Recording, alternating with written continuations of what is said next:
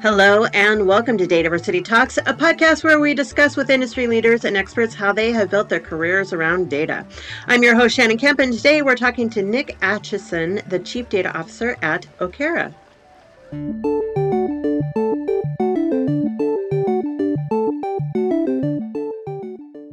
Hello and welcome. My name is Shannon Kemp, and I'm the Chief Digital Officer at Dataversity.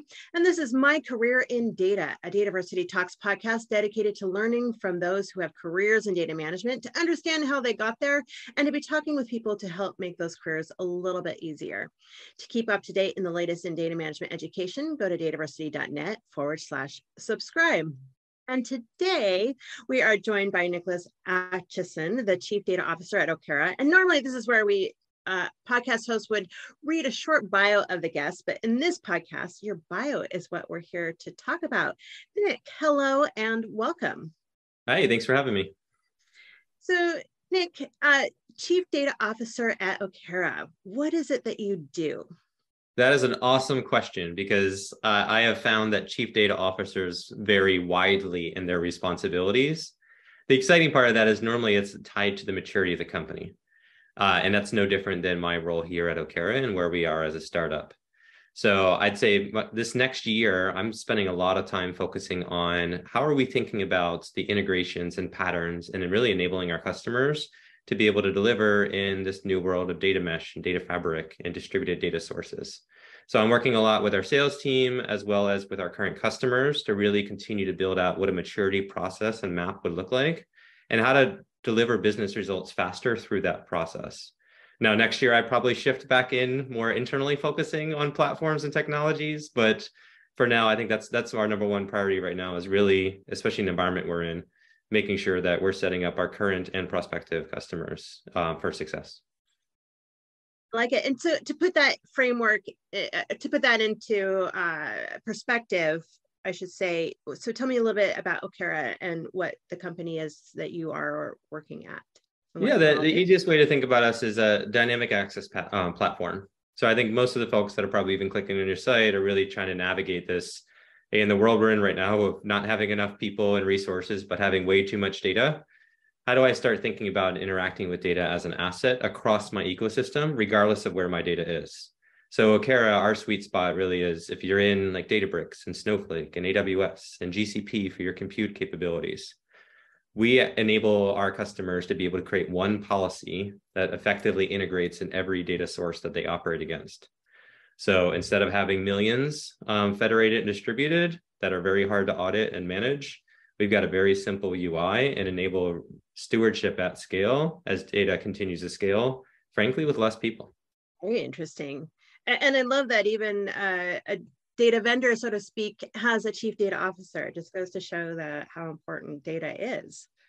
Yeah, lots of fun is I just joined Okera about a month ago. Um, and I've been a customer of Okera, even pre uh, money of Okera when they were a very early startup. I actually brought them in with Nike as we were building out our data mesh before okay. data mesh was kind of a term. Um, so it's a nice full circle to come join this side of the table. Uh, and it's pretty exciting for me. Very nice. So I don't imagine that when you were very young and and, and you're uh, as a child that you imagine I'm going to be a chief data officer for Okera when I grow up. so what did what did you what was your goal when you were when you were a child? What did you want to be when you grew up? Yeah, that's that's that's a funny question because like I guess you'd say is I matured into two before I matured into like the career that I had. Um, so when I'm younger, right, I, like any other kid, I wanted to be a professional baseball player, right? And it's just like, but then you start realizing, I don't know if I want to be playing around in double A and triple A, living in hostels and maybe making money and maybe get there one day.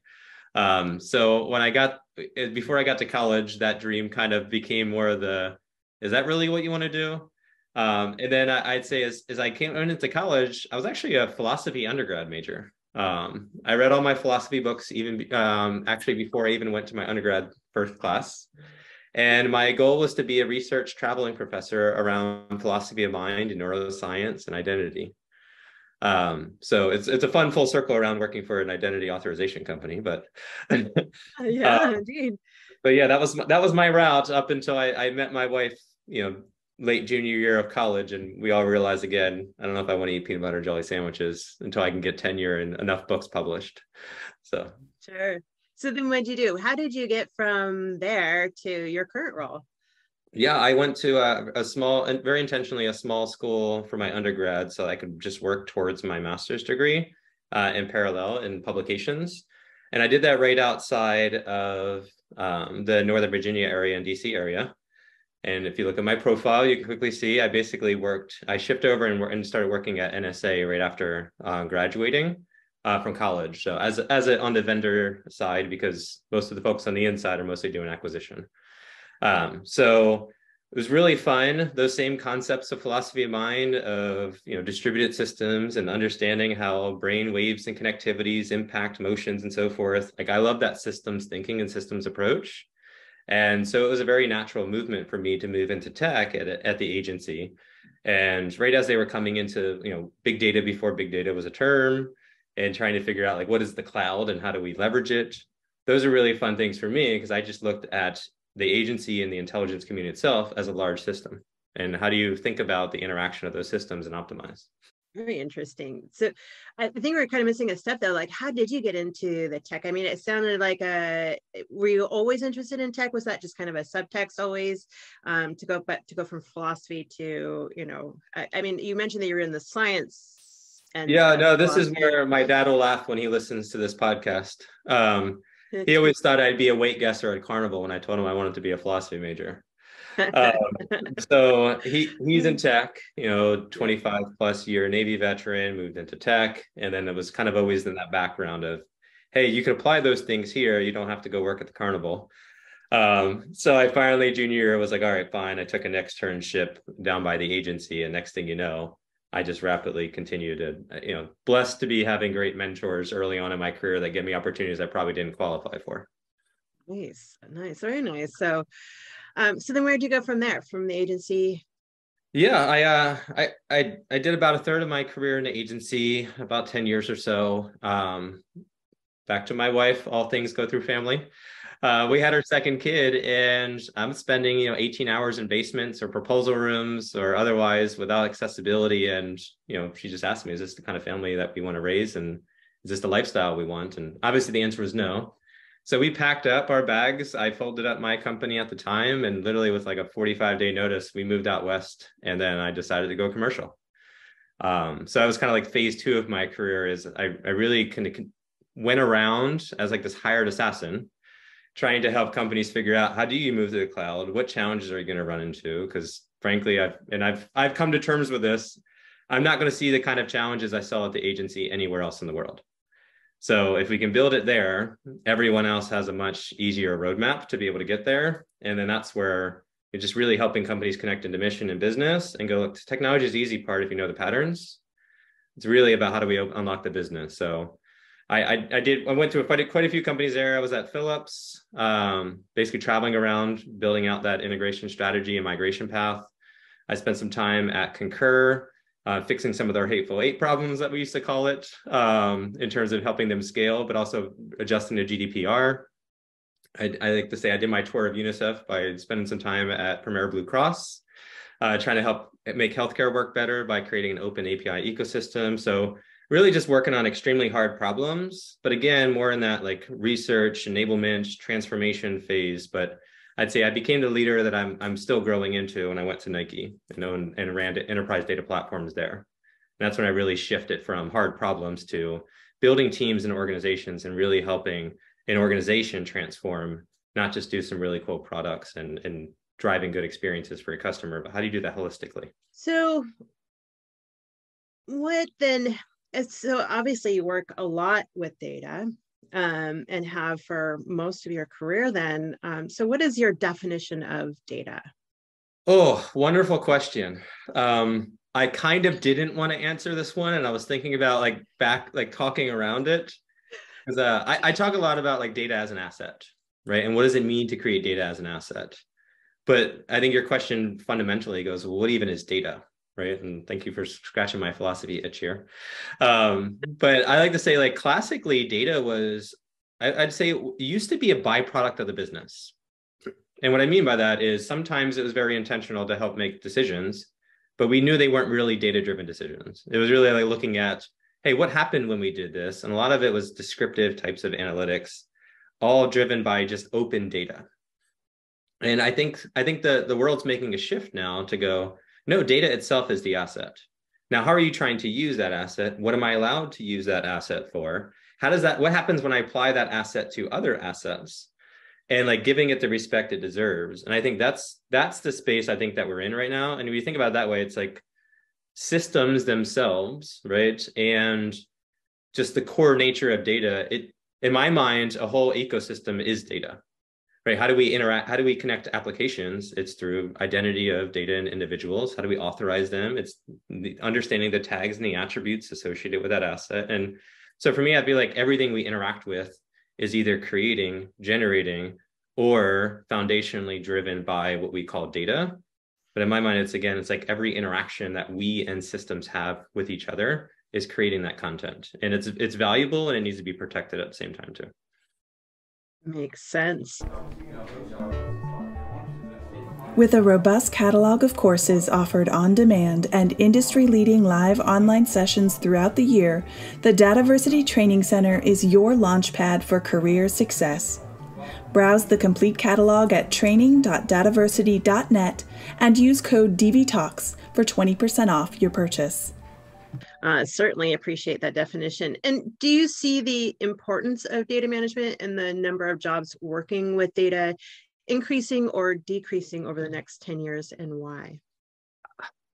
I, am going to intentionally now answer a somewhat different question. Um, like clearly, it's going to continue, right? Like data is not going anywhere; it's getting more core. Uh, what I think is, I think we're going to see a continued evolution around how do we interact with data, and how does that change the jobs associated with data. Um, I had a great conversation with my wife about this as we were talking to our girls. Uh, I have a nine and a seven year old. Um, and know, we talked to them. I was like, look, everything you're going to do by the time you grow into your career, data is going to be at the core of it. It's either an enabling function or it's an output that you can think about as an asset and how you interact with other organizations. So regardless of what you do, even if you want to do ballet, like understanding and optimizing your jump and so like there's so much science behind all that. So I think we're going to continue to see a, a, churn in how we interact with data, more specifically, much more natural language processing, right? I think you've seen Th- ThoughtSpot, for example, blow up because how do you create more citizens analysts that are trusted and protected because they don't know the rules, they don't know data ethics and things like that. So I think I think we're going to see more technologies continue to abstract out those hardcore data roles like data engineers and so forth, and more so go like, how do I how do I put the right tools in people's hands that I can make seven data engineers feel like 700 and not treat 700 people like data engineers. So I think we're going to see that change, and I think that's going to continue to evolve the the workspace. But everybody's going to have to have some kind of STEM or STEAM type of background.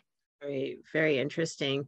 Yeah. It, um, so you see a good place for data engineers, any other data roles types that we'll see need more of or um, be creating more efficient uh, roles for? Yeah, I think we're going to continue to see those other peripheral roles get closer to data. And I, mm-hmm. so that's that's where I think data is going to be a foundational need for every role. So even as a lawyer, right, and going, think about data permissibility and its and its impact on our products and how we think about and protect our customers as much as we could as we protect the assets that we have. So I think we're already seeing that, but yeah, I think you even see roles like analytics engineer, right? How do you can you describe the difference between an analytics engineer and a data engineer if you're not in a hardcore data organization? So I think these are the ones are like are we might see roles shift, right? And see more data engineer shift into that because now we're thinking about the enablement of data versus just the act the acquisition of data. So I think we're going to keep seeing those roles shift out. You know, we continue to see the blurring lines between BI engineer, BI analyst, and insights analyst and a data scientist, right? They continue to walk up the maturity path.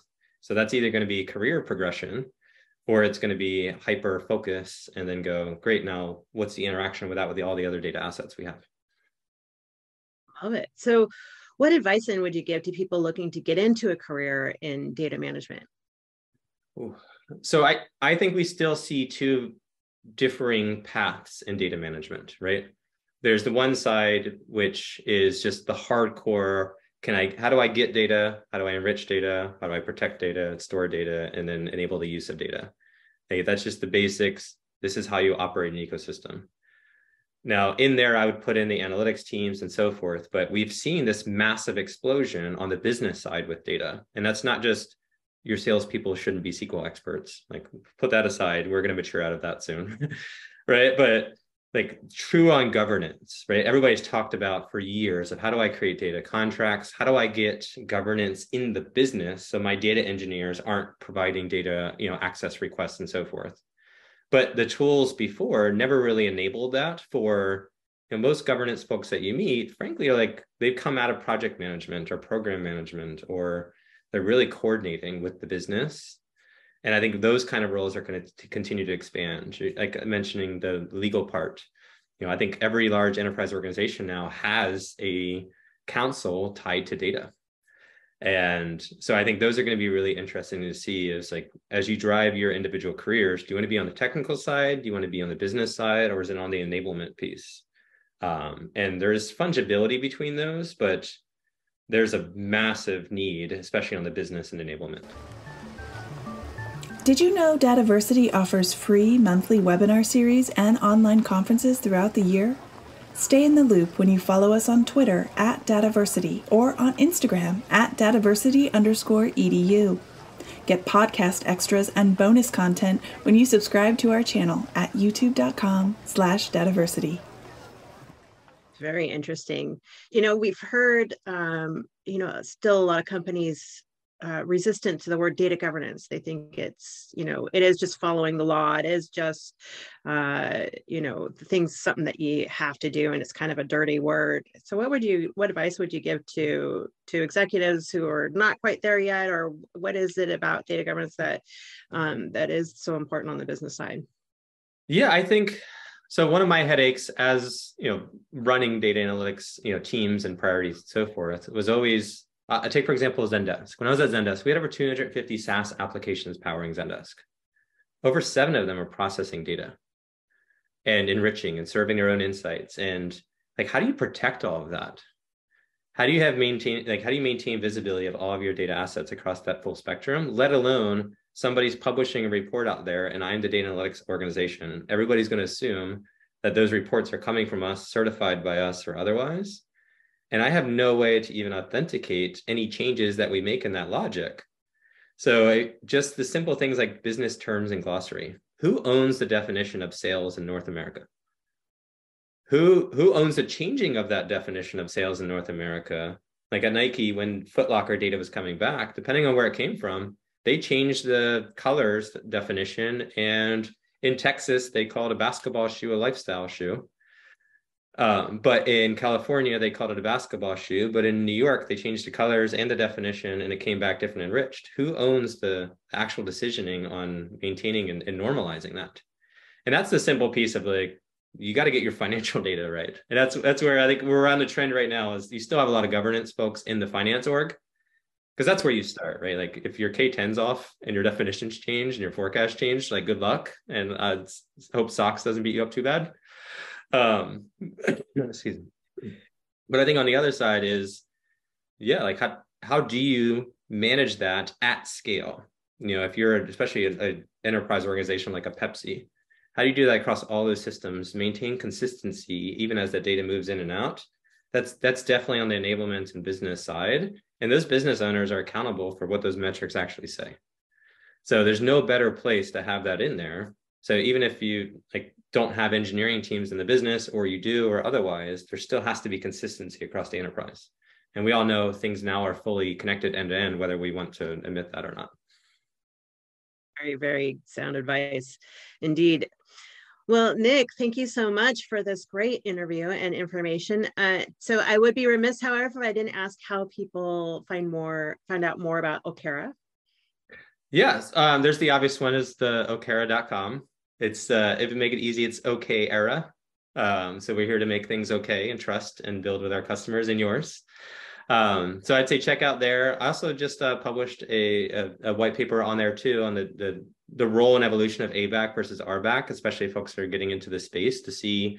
And I really broke down the history of like how did this come out from data lakes to distributed to mesh and where's this space going? And frankly, called a couple cool companies out there that are really driving and enabling. So um, I think the first part of this is really just education, understanding where we really are, and then go great. Now, what, how can we make an impact in that?